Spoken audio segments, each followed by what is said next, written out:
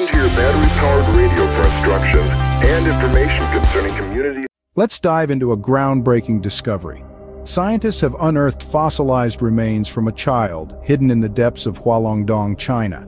Can you visualize a jaw, a skull, and leg bones all stirring up the scientific community because they don't align with what we know about Neanderthals, Denisovans, or even us, modern humans? The lack of a true chin, a trait eerily similar to Denisovans, combined with a facial structure resembling own. This compelling evidence might indicate a new lineage of hominins in Asia. This tantalizing discovery could rewrite the story of human evolution. What makes this discovery so unique and why does it matter? Let's delve into the features of these ancient fossils.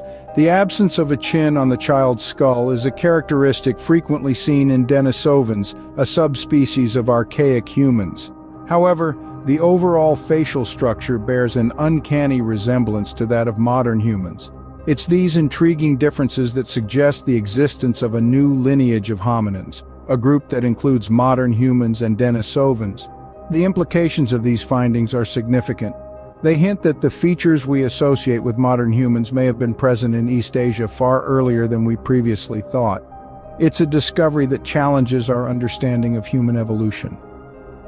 The features of this child from 300,000 years ago throw an unexpected curveball into our understanding of human evolution. So, what does this all mean for our understanding of human evolution? Let's unpack this. The child from Hualongdong living 300,000 years ago presents us with an intriguing puzzle. Its features don't exactly align with Neanderthals, Denisovans, or even us modern humans.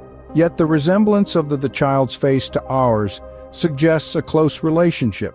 This discovery implies the existence of a new branch of hominins in Asia, one that was perhaps closer to us than we previously thought. More than that, it suggests modern human features emerged in East Asia far earlier than our previous theories proposed. This shakes up our timeline of human evolution, pushing back the date when modern human features first appeared. It's a humbling reminder of the complexity and richness of our evolutionary history. Kit ready will increase your family's chances